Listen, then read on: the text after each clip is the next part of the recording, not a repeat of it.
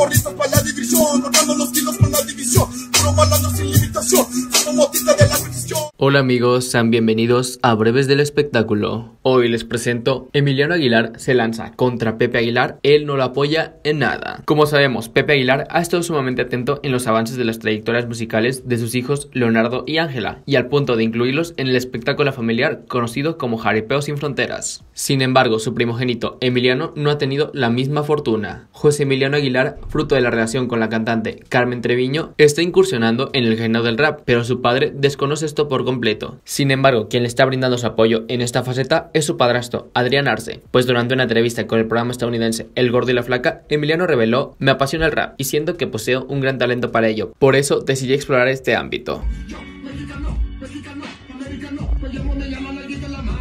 Ante la pregunta acerca del respaldo de Pepe, su progenitor, él comentó lo siguiente. Sí, él no, él no sabe nada de lo que yo estoy rapeando y... De lo que estoy haciendo. Pero sí, ahorita la persona que, pues, que me está ayudando pues es mi padrastro es Adrián Arce y no, me ha echado un apoyo increíble. Dijo el hijo mayor de Pepe Aguilar. Es importante destacar que Emiliano también abordó brevemente el escándalo legal que enfrentó en 2017, cuando fue arrestado y encarcelado durante varios meses por el delito de tráfico de personas. En aquel tiempo me encontré en una etapa de inmadurez. Ahora mi perspectiva de la vida ha cambiado drásticamente en comparación con aquellos momentos, expresó el futuro cantante. Pues como recordaremos, el hijo mayor del reconocido intérprete de música regional mexicana fue detenido en la frontera de Tijuana y San Isidro, California por las autoridades estadounidenses. Debido a esto, Emiliano pasó un periodo en prisión y también recibió tratamiento en una clínica de rehabilitación para superar su consumo de drogas. Y tras su liberación, el joven ha vuelto a acercarse a su familia, tal como lo reveló en una entrevista el año pasado en el programa Ventaneando.